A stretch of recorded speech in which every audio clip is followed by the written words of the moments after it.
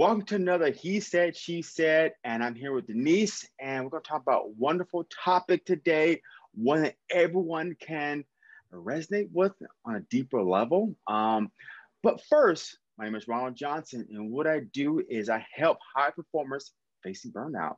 If you're looking to create more joy, more peace in life, you want that strategies and how to create more joy and peace in life, this is where I can help you. Now, Denise, let's hit it out the park. Thank you. I will catch that ball, Ron.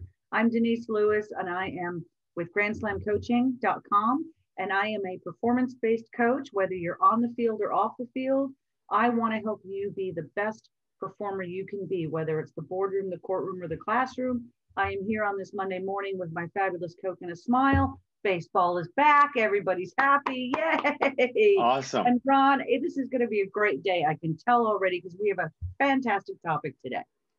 Yeah, today's topic is respecting a person's model of the world.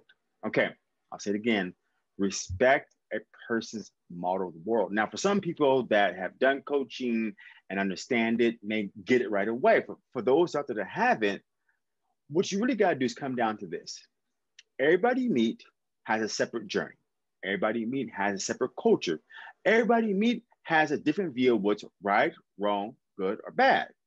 So mm-hmm. because they don't accept your view of right and you don't accept theirs, doesn't mean you guys can't be respectful. Most of the time Absolutely. it's you're wrong, I'm right. You know, someone has to win and someone has to lose. Technically, there's no right, wrong, good, or bad. Is that we have to respect a person's feelings, respect their view. You know, if someone comes from a different culture, maybe eating meat may not be their culture. You can't turn around and say, oh, eating meat is good, or you should eat meat, it's good for you. We're not respecting their view of the world. So that's a simple way of saying respect a person's model world. I would say this I, have been training for years and I did. And when I first started training, I would always think, for the first year at least, that every client wanted to be a bodybuilder. Every client wanted huge muscles. Every client wanted this it took me about 18 months to really say, ding, ding, ding, ding. Hey, Ron, look, you can't lead a client where they don't want to go. So if they don't want to bench press 150 pounds or they don't want to deadlift 150 pounds, you can't get them there. When they're ready to get there, you meet them and you support them. Absolutely. But what came down down to the down to a very basic fundamental is that you need to allow the client guide you.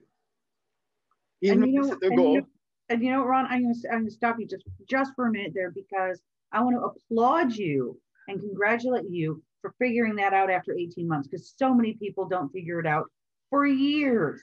For so years. Thank you. So thank you, thank you, thank you. But please continue with your story because yes, so, you you can't lead you cannot lead the horse to water. no, especially doesn't want to drink. Yeah, right, especially doesn't drink. I like the old school saying, can't lead a horse, can't can't force a horse to drink water if he doesn't want to. Can't lead, exactly. lead the water, but if he doesn't want to drink, it's up to him.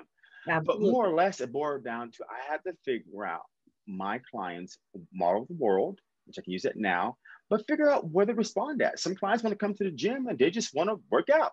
They're not trying. It may say like trying to lose some weight and trying to get stronger, but if their energy and their body language says, "Hey, I like you, Ron. I'm gonna build a relationship with you. I'm gonna work out," respect that because even though you would love to have them get the results you want to achieve, that's not where they want to be.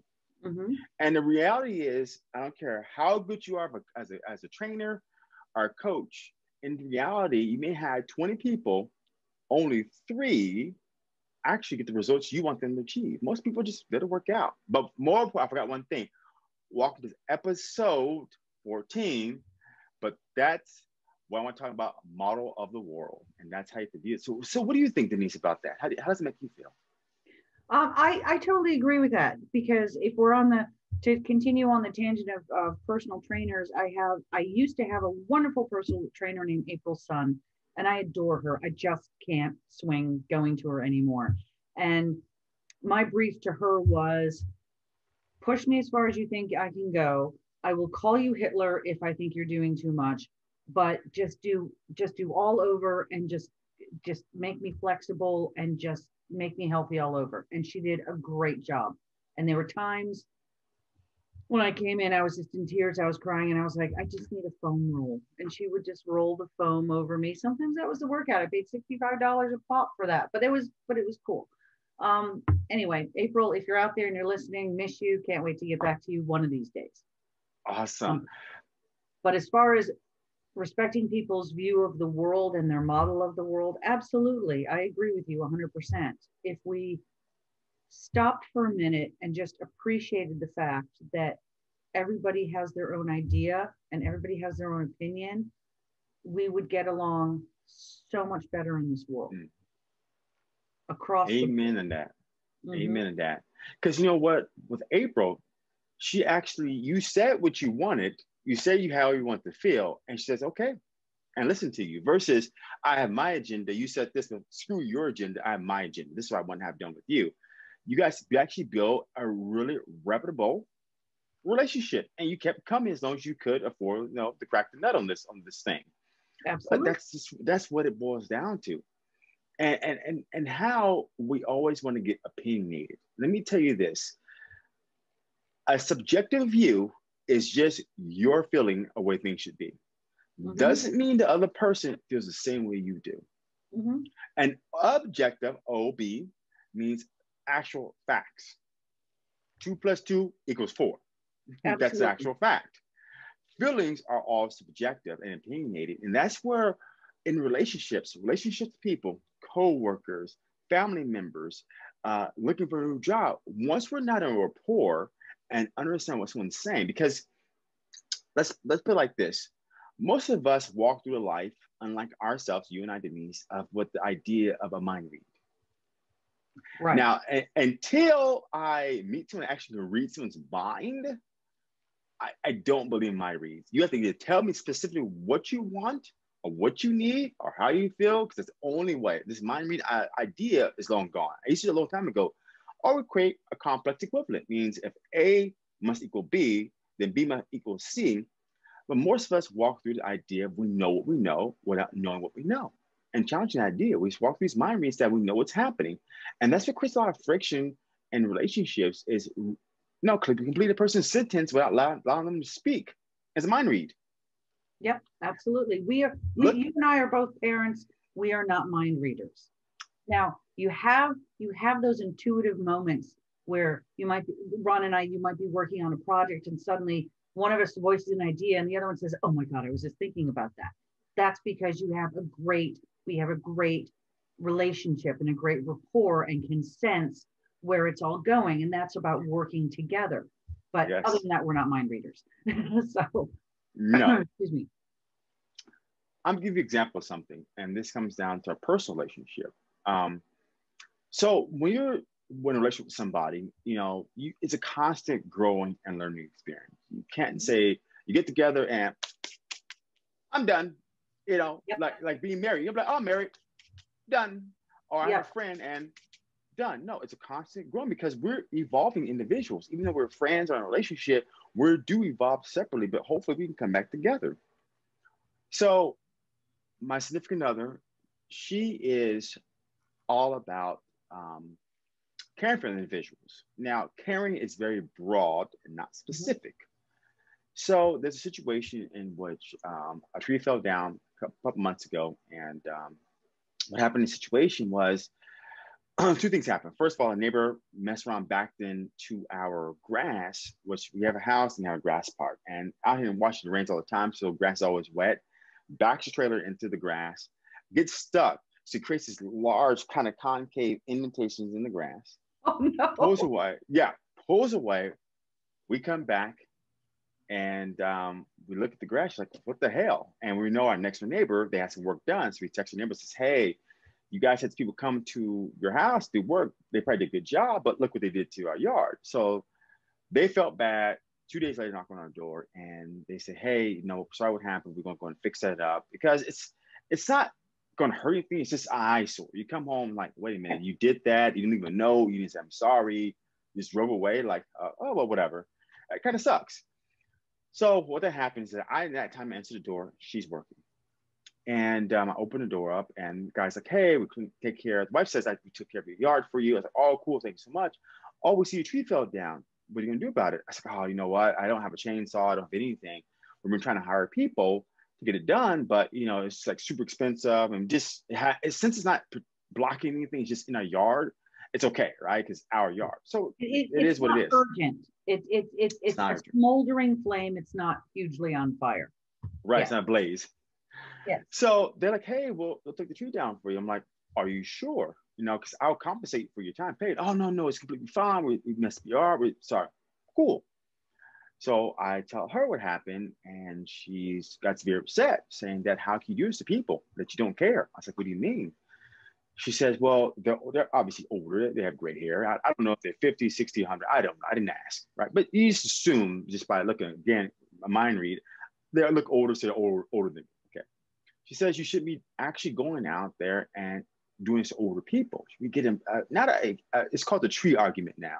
We're getting right. an argument because I says, look, I believe people have choices. My model world, people have choices. A, I said, are you sure? B, I said, I compensate. C was, they said, don't worry about it. I'm like, I'm cool. I, I gave you a choice. You you choose. Yep, absolutely. So, they, so in this they, case, they offered. You didn't ask, they offered. That was the key. So in this case, she gets very upset and we get a, a huge argument because she feels I don't care about people, I'm taking advantage of people, what they're gonna think about us because they're older. And I says, look, you know, I, I respect the fact you care about people, but also respect the fact that I feel I did the best thing I could. I gave them two scenarios. They chose one. Hey, people have choices.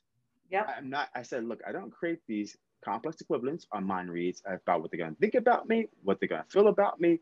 I don't know. I don't know what I don't know, and I'm not gonna spend time wasting. So, but the beautiful thing about this, it created a learning experience for us both because now we learn how others' reality of the world is. Like she's really about caring about people, taking care of people, there for people. Me, I'm like, okay, well, I give you choices, you know, pick a choice. But it's just we have to respect people's model of the world. It's not I don't care because her model of caring is different than mine. And my model of, hey, I do care I didn't say, hey, see that tree right there? You know, you sent your gardener, take it down for me. You know, I didn't ask. And when I gave you two choices, you chose. So we call it the tree argument. That's that's the, and we always now we can laugh about it. But it, it was a great learning experience because I viewed her model of the world. She had the chance to be my model of the world. The bottom line about this though, we will not agree on the model of the world, and that's completely okay. But I will respect and understand her model of the world and be more curious to her model world. That's my stance. And that's what we call the tree argument. Well, that is a really amazing tree argument. And I think the only thing, uh, has the tree actually been removed now? It's long gone. Yes, long gone. And did you go out and help said neighbor when they were cutting down the tree? No, actually, I was busy working. I was doing something else. Well, that's unfortunate, but I mean that because really the only thing you could have done to make that scenario better is to, is to say to neighbor, when do you want to come and be there to help him as he was older? But he offered, and it's done, and now no more tree argument. So, no, it's not. But you yeah. see how something so small can just blow up because so a person uh, as a person has their eye view of way things should be. One person has their view, and they can't come together. And in the situation, we won't come together. Okay. Yeah. And I mean, we won't because I can't, I can't step into her shoes and view her model of the world. I can't step in to see what she sees or what her thoughts are because her idea of growing up is totally different than mine. Mm-hmm. So the, I can understand, I can ask questions because I want to get an understanding. No different. She can't jump into my shoes and understand my model of the world. Right. But we can respect the model of the world because there's no pointing fingers here. There's no right, wrong, good, or bad. It's just coming from a place of understanding. Now, in her view, I'm wrong and I should do something better, and that's okay. Again, I'm to respect her model of the world. My view is, well, okay, I did I thought was right, and but I will respect the model of the world, and that's what comes down to arguments. I mean, Denise, you, you got to give me some good examples of, of how you would have done things different or what you would have done different. Oh God, on the spot here. Um, eh, That's the best way to do it on the spot. It, it no, it is the best way to do it. I think if I could have done something differently, um,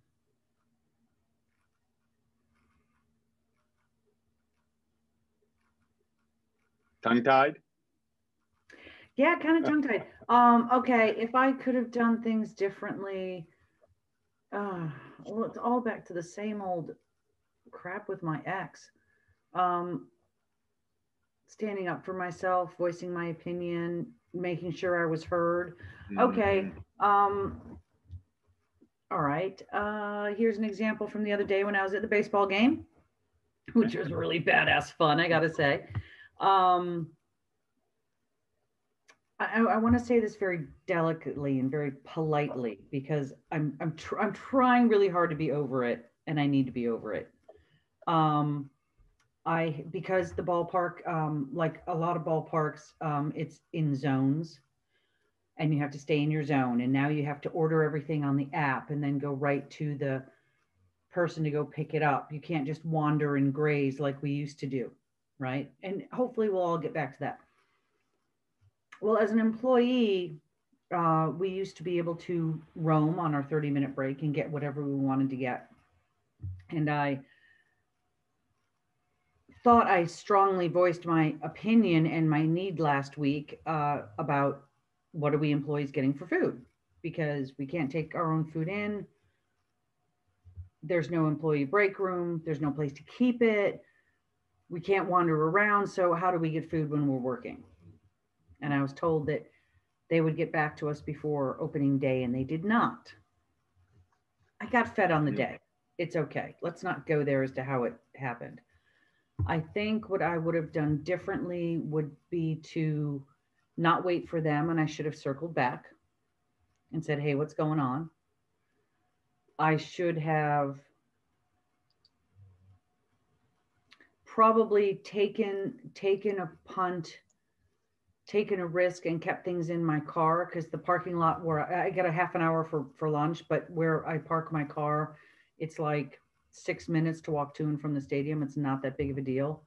Um, i could have done things a little differently too. Okay. um, that's the only thing I can think of right now because everything else that is I'm butting heads within my life, I feel I'm right, and it's because it has to do with my son. hmm He's now, right now, currently, as we speak, taking day one of two days of state testing. He was supposed to do stuff last week to prepare for it, didn't do it. I didn't find out till last night he hadn't done it. And today he was like, Oh, I think I want to take this at school in person tomorrow. And I was like, Well, Sunshine, you missed the window to take this at school today. I, I mean, I'm I'm just right. I know he's 18, but I'm right. Sorry. So the, then, then the deal is there is um, what value did you get out of that? What value are you getting? as far as my son, I don't, I, I- I can't figure out where I failed to instill in him that going to school, just at least to see i've only asked for minimum C's. Um, having a care factor about his appearance, having a care factor about his success in the world, having a care factor about helping out. I'm on him constantly about keep this place clean. Let's, if you can't get a paying job, let's do volunteer work. Let's do something. And it's, uh, oh my God. And I lead by example. And I don't understand why he doesn't come on board. I don't get it. I have a full time job. I have full time school. I have a part time job. I'm a full time mom and I've got the dog. And I, I don't You- you know, wrong. First thing, pat yourself on the back be like, you're a parent, do the best you can, like every other parent out there with no handbook. There's no handbook to be the best parent. You just you just gotta figure fill the pages as you go. Okay. But one thing is, is that you're obviously grew up in a certain era where there's a certain values. Let's say your dad instilling in you, hey, we have family of four, you gotta contribute, you gotta help out. Volunteer work is helping out. You see someone's working, you pitch in. Those are kind of values that you have or principles you live a life by. Yep. While your your son may have a totally different set of principles. But this is the, these are the same principles that I was raised by. I've instilled on him since he was, you know, four. Yeah. You know, when he when he was four and wanted money to go to, you know, the ice cream truck or whatever that I was like, fine. I said, but you know what? If you want, if when the ice cream truck truck comes around the future, you know, you're old enough now, you can do chores. And it was very simple, started simple. And then every year at the beginning of the school year, he'd come and ask for a raise. And every mm-hmm. year I'd respond to him, what additional chores are you going to do to earn that raise? Mm-hmm. Now, I haven't been able to pay him his allowance in like the three and a half years, but I've always made sure he has what he, he needs. It's just mm. not, it's, it, it's just a different scenario, you know? Interesting. But I've, but so, I've, I've made sure he has pocket money and I've made sure he's, you know, got everything he needs and ask him to do things. And I come home and I'm like, you know, it's one o'clock in the morning. They're not done. I want to blow my top, but it's one in the morning. I want to go to bed. Right. See, this is more of a. This, I feel like this is turning into more of a coaching session for me. you know, and that's talking the, about how fantastic we are as coaches. You know, have you ever thought about this? Inherently, there's a set of values you want to live by, and you have lived by, and they work for you. Wonderful. Let's like the example you gave about the ballpark. There's a value there of communication. Hey, yep is what it is, and that value is missing, and it makes you feel very upset. Like, hey, look, you know, you should just communicate. I just want to know, yes or no, yay or nay, whatever it is. And and this boils down to the fact that your son will never be you, even though you did the best thing you can. It's still the values. You're doing the best thing you can too. It's still the values. He will never be you. And the only way to get him on board is to understand he's not going to be like me because that will save you a lot of frustration for yourself. He's not, he's not going to be like me. He's his own individual person, respecting his model of the world, and ask more empowering questions. I'll give you a good example. I have to get myself. I have to get myself to read it. It was out the blue for my son. I have, I have a 17 year old son, and he said this. Um, so we were, first we we're going back and forth. One thing we're going back and forth. I'll give you one example is he got a job at McDonald's, which is fine. You know, he's 17 years old. You're gonna get a, uh, you're gonna be flipping burgers. Okay, this is what it is. Right. So he's working eight to 13 hours uh, a week, um, penny, football, all that stuff, and he says make seven dollars 25 cents an hour. So I asked him, hey, let's get on the phone and talk because the thing is, he wants me Uber him back and forth to work. So I wanted to use this as a lesson to say, wait a minute, if you're making, I said I did the math, make maximum of 13 hours a week you make $7.25 an hour. That's only $94.25 per week, not gross, not net. So I'm getting on the horn and says, look, hey, let's do the math because if it's 20 bucks, we back and forth, you're already in a hole, man. I mean, I can, I'll do this. I was going to support in the first three weeks because it takes a couple weeks to get your paycheck going and stuff like that. But then you got to support yourself because it's responsibility, but we haven't gone on horn. But I got a text this morning, which is kind of out the blue. And it says, um, down here, Dad, why do why do we live just to die? Why do we live just to die? So wow. I, it was really powerful. I was like, okay, so I, he's at school right now. I respond back, what do you mean? I, I want to understand what's going on. Right. I can't all of a sudden jump in there. Okay, this, this, this, and this. Okay, what's going on? Was something said? Was something read? Was something told? Did he had an awakening moment? I don't know. So we have to talk about that. And now he hasn't responded back yet. But I says, hey, look, you know, uh, how come you're out of curiosity? How come you are feeling this way? What happened? I, I need to understand something. I, I can't come to a conclusion because I don't understand nothing. But that's what we have to do as parents is we have to ask some questions, get them all the world. We're back to that, coaching and back to that. But we have to understand where they're coming from because now uh, my son is 17. He's now in a different environment than I grew up. He's in a different state than I grew up at. He's yep. at a different idea of life than I'm at. I mean, he plays football. My dad hated the fact to play football. He hated it. Um, because came back from religion thing that, you know, you don't play sports because bad association spoils useful habits.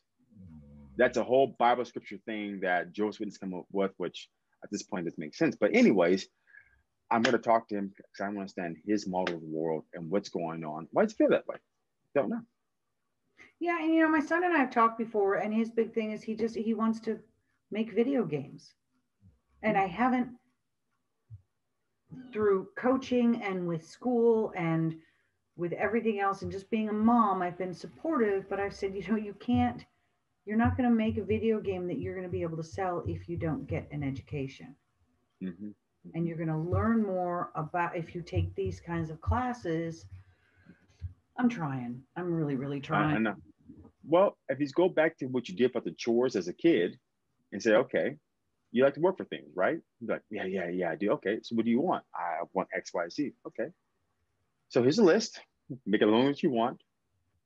Once you check off every single box of this list, we can talk about what you what you want. Mm-hmm. Because you have to give up something in order to receive something. So you expect for things to fall in your lap. No, it doesn't. No, it doesn't happen that way. And I've, I've always made him. I've always made him wait and earn for things. And when he's like, "Oh, I want this," I'm like, "Well, sunshine, how are you going to figure that? You know, how are you going to do that? You know, money doesn't grow on trees. I don't know. Well, we're going to figure this out. But let's get back to whatever the topic at hand was, which is looking respecting people's worlds and yes i need to respect his world i need to respect the fact that um, while he is in very while he is incredibly smart and a lot smarter than he gives himself credit for the way he has to learn information is totally different from everybody else and we still haven't found the key to make that happen so the key's there the key is there i haven't found it yet yet is the operative word i'm going to keep trying what if you already have the key inside you? You just put in the wrong key in the wrong keyhole. That could be too. That, that is very true, and that could be as well. But I need to uh, take some time and keep exploring that. Okay. All right. Let's do that. So, yeah. how would you respect a person's model of war? What's your opinion about that? I, I like your old school sayings. I love it. The guy that cheats on the golf game cheats in life. You know, one finger pointing at you, three fingers pointing back. So you got to give us something. I love those. Oh my gosh. Um, I, I know you got a lot. See, now I'm feeling like the gray hair is really coming out. I mean, you're, you're, you're, how old now, Ron? You're how old? Uh, I'll be 38 in three months. I'm 37 technically. Thanks. I'm just so um yeah, you're 10 and I'm 9. So that's cool because I add my numbers together um, be very wise about which first number you choose there, sunshine. Right. Um, um, what was the question again? I'm gonna some some old school cliches. Yes, cliches. How to respect a person all of the world? Because we we always want to point this is right or that's wrong. You should be done this way. This is how it's supposed to be done. Ah, blah. This is always constant point. How do we really just get a saying that we can remember and that we can just out, align ourselves with people's respect of their view. Well, I guess it comes down to whatever floats your boat. I mean, ah. what floats your boat, and there's stuff that floats my boat, and you know, because our little boats can just happily kind of coast down the river of life. But it's when you, and yes, our boats will bump on occasion. But if you're purposely ramming me with your boat because you want me to be in your boat and you want me to have your ideas, that's not going to work. But let's just go happily float along in our little boats and we'll bump on occasion because it's natural. And then we'll just keep on going. So, you know, what floats your boat? Where float your boat? Now, let me transpire that into action. Let me see here. Smile, wave, throw them a throw them a drink yeah. or a cocktail. Let them tie up for a while to share your energy as you're going floating down the river of life. You know, I was gonna I was gonna say, you know what, inherently as you float down the river in these two boats, Mm-hmm. Technically, the boats are the same size, filled mm-hmm. with the same junk. Yeah. And filled with the same problems. Why don't you look at your other man be like, he's just a reflection of me? That's that's what you do it. He or she's a reflection of me. Yeah, I know. They I hit something know. right there. An aha moment. There's an aha moment. well then there's hope for the future because i wasn't all together when i was his age so and i look i blossomed he's a late bloomer i'll accept that yeah he's i mean that's the thing is we're a mirror reflection of ourselves. So inherently to go out there and point fingers at other people we basically point three fingers back at ourselves right? So one finger pointing forward three fingers pointing back. And we have the same size boat both the same mess. Now it, your mess maybe feel totally different. It may have different colors. May look a little chaotic. His or she her his mess or hers mess may look the same way. It's the same stuff, just experienced different. That's it. Wrapped up in different bows, wrapped up in different, yeah, different paint jobs, all that other stuff. Yep, I get it. But yeah, what, because what makes you happy is totally different for, well, a little bit different than what makes me happy. And that's okay. That's That's totally totally. I love the times that we come together and we share our good fortune. We we cry on each other's shoulders. We commiserate. We coach. We cajole. We support. You know, we cheer. I love that. We Mhm. cheer, and we do all sorts of things. the biggest thing to build more resilience in your life, the biggest thing to really understand that someone has the model of the world is one thing is understand you having a unique support system or sorry, unique identity. Your identity is different than theirs, and that's okay. Mhm. But you can learn from each individual person's identity. And more or less, ask the right questions, create a support system, you know, create resilience in yourself so that way you don't judge. Because more of the time you judge or point fingers or create this worldview, there's less space in your mind. Your mind's only so big, 100% is only so much. You can't go 110%, no, 100% is 100%. If you take Right. some away some of that uh, um, worldview and come into these complex equivalents and mind reads, you make room for something new that's going to give you more power for yourself than anything else. That's the main thing. So I want to say, everybody, thanks for listening to another He Said, She Said, and episode 14. 14. Yes, we are making Moving progress. forward. Making progress. I like this one step at a time, one block at a time. We will get there and we will create things that we should be talking about daily. And again, this is Ronald Johnson. And what I do is I help high performers that are facing burnout, creating strategies to reach their full potential with joy and peace in their life. Thanks for listening. And I'm Denise Lewis, and I'm with GrandSlamCoaching.com, and I am a performance-based coach, both on and off the field. And I want you to have your best performance ever. And as you can see from today's topic, I needed a little bit of help getting my performance back up to top gear. It's okay because I love it. And how can I expect to help people if I can't turn and get help myself? So please reach out to me at www.grandslamcoaching.com and let's make every day a Ah, Grand day. ah, Yay! My times are six and three. I'm so excited. Yay. Woo, woo, woo. awesome. Awesome. Yes. Thanks, everybody. See you soon. Thanks. See you next time.